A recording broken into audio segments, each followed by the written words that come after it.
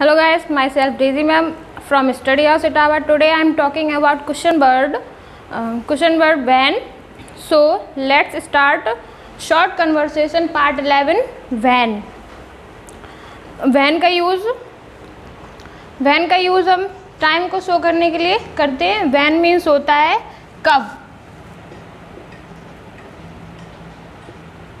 Van means होता है कब. यहाँ पे हमने कुछ क्वेश्चन लिखे हैं. फ़र्स्ट हमने क्वेश्चन लिखा है when do you get up आप सुबह कब जागते हैं? तो आप, अगर आपसे कोई पूछे कि आप कब जागते हैं at five A M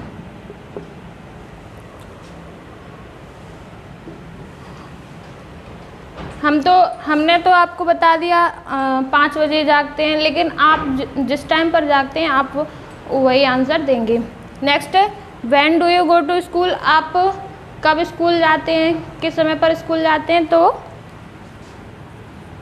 eight nine A M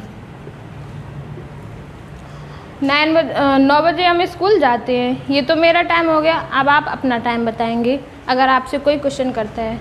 next question है when do you return from school आप स्कूल से कब घर लौटते हैं?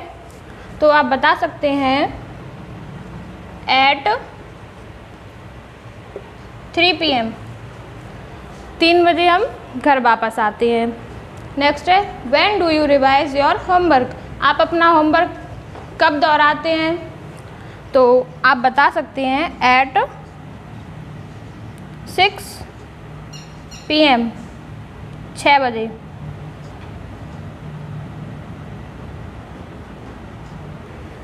तो आप अपना होमवर्क रिवाइज करते हैं सिक्स पी एम ये तो हमने आपको बता दिया, लेकिन आप जब करते होंगे, आप वही टाइम बताएँगे। ये तो शाम का वक्त हो गया, अगर आप सुबह करते हैं तो आप सुबह का बता सकते हैं five A M four A M आइए, अब हमारा नेक्स्ट क्वेश्चन है when are you coming to us अगर आपने किसी फ्रेंड के पास फ़ोन किया है या किसी रिलेशन में फ़ोन किया है तो आपने पूछा, आप कब आ रहे हैं? तो आंसर होगा as soon as I get time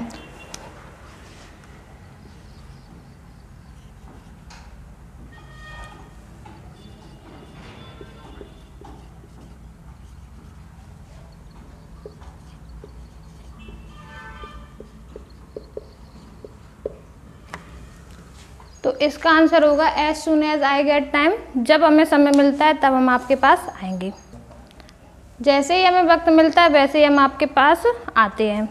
अब नेक्स्ट है when did you meet Rajesh आप when did you meet Rajesh आप राजेश से कब मिले? तो आपका आंसर होगा तो आपका आंसर होगा लास्ट फ्राइडे पिछले फ्राइडे को हम राजेश से मिले। नेक्स्ट क्वेश्चन है when are you going to movie आप मूवी देखने कब जाएँगे? Next Monday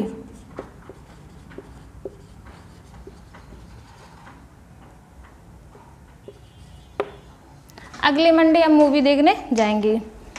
so I hope आपको मेरी क्लास समझ में आ गई होगी। अगर आपने चैनल सब्सक्राइब नहीं किया है तो इसे जल्दी सब्सक्राइब कर दीजिए, शेयर करिए और लाइक करिए, जिससे कि आपको मेरे आगे के वीडियोज़ देखने को मिलते रहें।